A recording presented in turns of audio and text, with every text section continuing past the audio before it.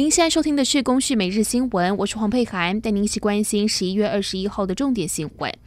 劳动部辖下北分署公务员疑似遭长官霸凌轻生，事后调查结果认为没有直接关系。调查报告访谈员之一劳法署副署长黄玲玉表示，虽然谢义荣没有对该员工直接霸凌，但结论有证称他是职场霸凌，而且情节重大。时任劳动部长徐明春也出面，对于没能接住同仁表达歉意与遗憾，但强调自己当时不知情。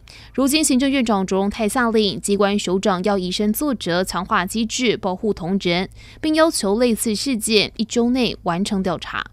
在劳动部之后，官员疑似职场霸凌事件接连被爆出。民众党立委陈昭资表示，接获爆料有卫福部司长疑似霸凌，被点名的官员上台后也反驳不是他。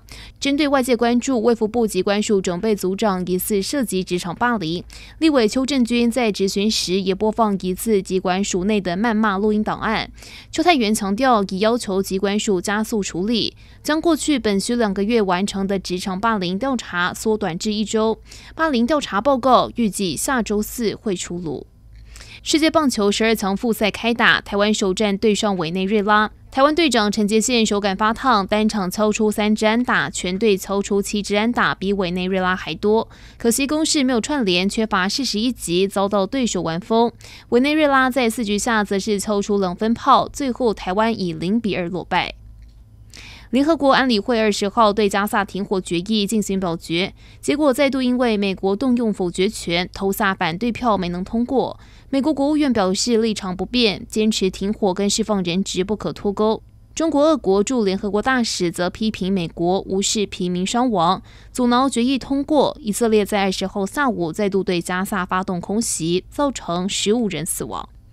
美国有线电视新闻网 CNN 报道，中国国防部长董军在辽国举行的东协防长扩大会议，拒绝与美国国防部长奥斯汀会面，原因是对美国三周前一项二十亿美元的对台军售案相当不满。以上由公视新闻制作，谢谢您的收听。